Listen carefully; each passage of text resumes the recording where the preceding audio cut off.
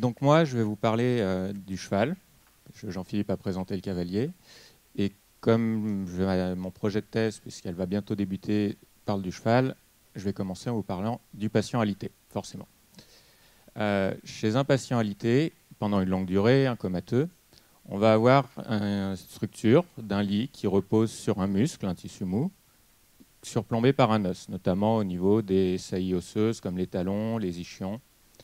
Et ça, chez un humain, ça va provoquer une pression qui va induire une ischémie, c'est-à-dire une diminution de l'apport artériel. Et ça peut provoquer des escarres.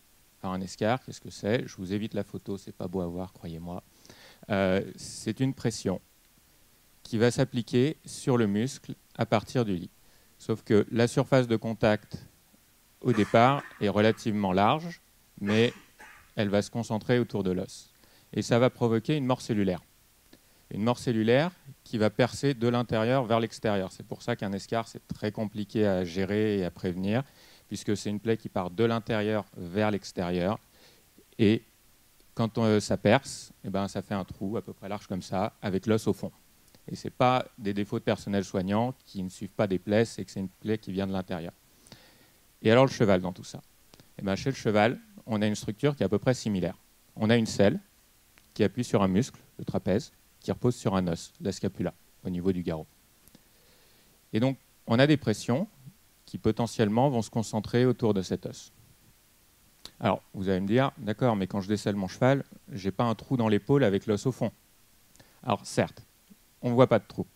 Par contre, on sait que la selle a une durée beaucoup moins longue sur le dos du cheval que le lit contre le patient.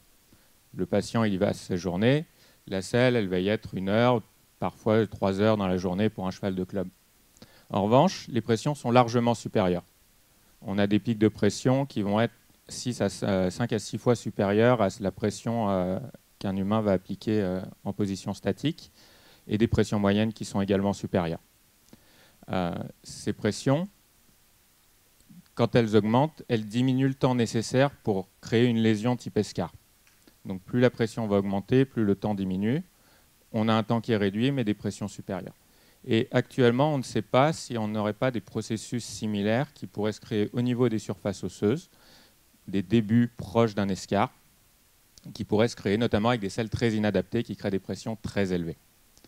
Et il est là le but de cette thèse, c'est d'aller essayer d'observer avec des méthodes qui n'ont pas encore été appliquées sur le cheval, euh, l'élasticité, l'oxygénation, le flux sanguin dans les muscles sous la selle. Parce qu'actuellement, les méthodes utilisées pour observer les pressions de sel, c'est les tapis de pression, si on veut utiliser le nom exact, des nappes à capteurs de pression, qui ont le défaut de donner des valeurs uniquement mécaniques et qui sous-estiment les forces dans les zones non horizontales. Voilà, merci.